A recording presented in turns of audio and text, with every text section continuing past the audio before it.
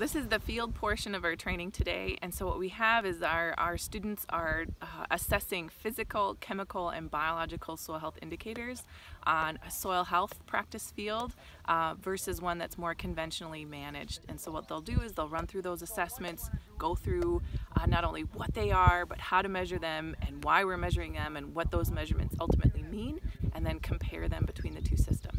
I think it's really to help build confidence with our technical staff and our conservation planners to help them articulate the benefits of soil health practices on improved soil function.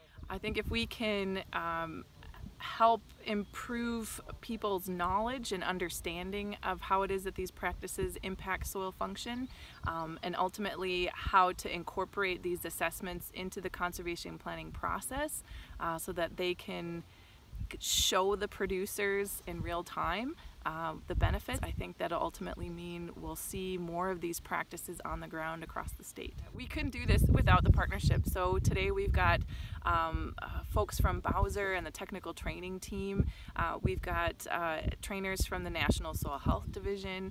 Uh, we've got our, our state and area technical staff, um, soil scientists, agronomists, uh, resource conservationists, grazing specialists, resource soil scientists, all of the folks that are intimately involved involved with uh, helping to educate um, our technical staff on, on, on soil health practices in the state.